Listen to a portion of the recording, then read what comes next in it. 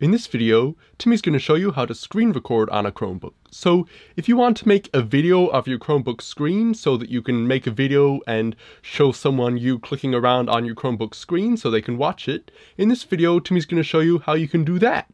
So when you're on your Chromebook and you're on whatever you want to record, you'll just need to come down and click on the time in the bottom right corner here, and then click on screen capture up here, and now by default, it will want to be taking a screenshot of your screen, which Timmy made a video about in the previous videos, so you can watch that if you want.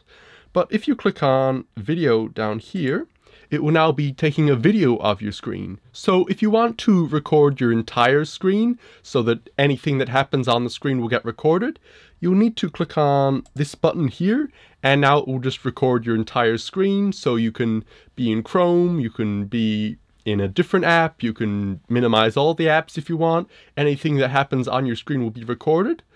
Or if you choose this button here, you'll get to choose a specific portion of the screen that you want to record, and Timmy will show you more about that in a minute. Or if you choose this option here, you'll get to choose a specific window you want to record. So maybe Chrome or maybe the Files app or a different app, you can choose a specific window to record, which can be cool. And also before you start recording, you might want to click on this settings icon and you can enable the microphone or not. So if you want to make a video where you're explaining what you're doing on the screen, you probably want to turn the microphone on and then your Chromebook will use its built-in microphone to record what you're saying while it's recording the screen. So you probably want to turn that on before you do any recording. But once you've chosen that, you can leave it off if you want, but once you've chosen that, Timmy's going to choose to record the entire screen now, and Timmy will get to the others in a minute. So when you're recording the entire screen, it'll say click anywhere to record full screen. So just click anywhere, and now it will count down three, two, one. And now it is recording, and you'll see this red dot is down in the corner here, and you can click there to stop it when you want to stop it, but that'll tell you that it's recording.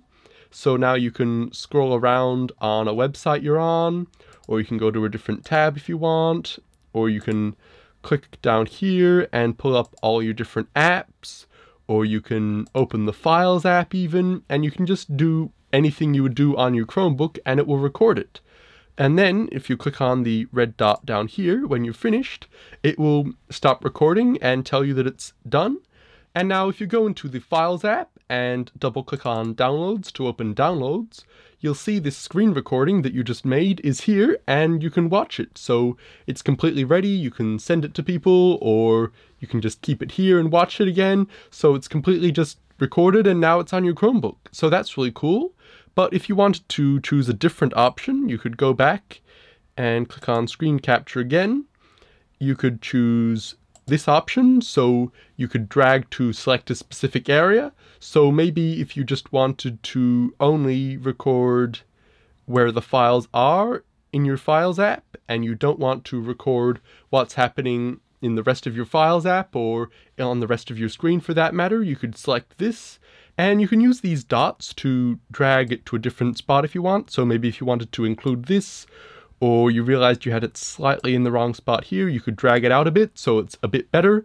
And then when you're ready, once you're happy with what you've selected, you can click on record here and it will count down three, two, one again. And now it will be only recording what's inside this little highlighted box. So if you were to click on my files now, it would record this, but not everything here. And you could even go into other places. So maybe if you go into camera or something, you would see stuff in the camera and you can just do whatever you want on your Chromebook and it will only record within this box. So even if you minimized the Files app and you're scrolling around in Google Chrome, it would only show you this little box of Google Chrome. And then once you're happy with it and you're finished with your video, you can click on the red dot again and it will finish recording and it's done. And the last option for recording on your Chromebook is to choose a specific window. So maybe if you wanted to record the Files app, you could pull up the Files app and then if you go down into the right hand corner again and click on screen capture, and you choose this window option that Timmy showed you earlier. Now, if you hover over the Files app, you'll see it's all blue. So that means if you clicked anywhere now on the Files app, it would start recording the Files app. or if you hover over Google Chrome, it'll make Google Chrome blue, or if you hover over the bookshelf, which is what you call where these icons are, it'll just record the bookshelf if you wanted to do that for some reason. But if you just click on the Files app, it will count down 3, 2, 1, and now it will be recording the Files app. So anything that happens in the Files app will be recorded, and you can even move the Files app around and it will follow, you, the recording will follow the Files app and you can just do anything you want in the Files app and that will be recorded and nothing else will be recorded. So that's all there is to that. And then you just click on the red dot again when you're finished and it will finish with that. So that's really cool and that's all there is to recording your screen on a Chromebook. Not too long ago, you would have had to install a Chrome extension to do this, and you can still do that, and there are some pretty good ones, but Timmy finds that this built-in feature is now way better than any of the Chrome extensions Timmy's used in the past, and it works really well and you don't have to install anything. So that's really cool, and if you want to see how to take a screenshot on your Chromebook, you can click on the link in the video description down below, and you can watch that video, but that's all there is to this video, so that's really cool, and if you found this helpful, please click on the thumbs up button down below, and if you want to see more videos like this, click on the subscribe button down below, and click on the little bell icon next to the subscribe button to be notified every time Timmy makes a new video. So that's really cool, and Timmy will see you in the next video.